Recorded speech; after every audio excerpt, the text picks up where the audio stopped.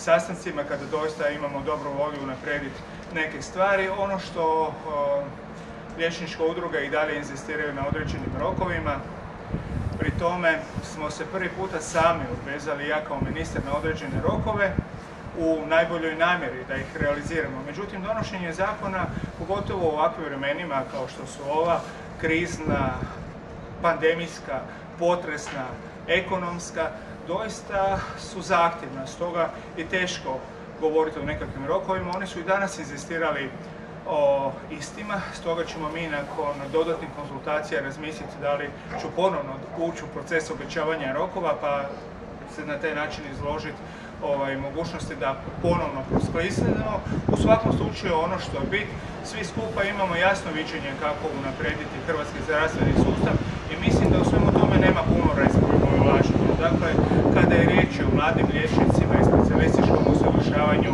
njihovim pravima, kada je riječ o zakonu o ravnopravnom statusu liječnika, kada je riječ o uredbi koja je konsekvencama, nama je smisao dijalog u ovom trenutku. Ja vjerujem da će oni vama sad reći ukoliko ne dobiju od mene jasne rokove da vjerojatno slijedi štrajk.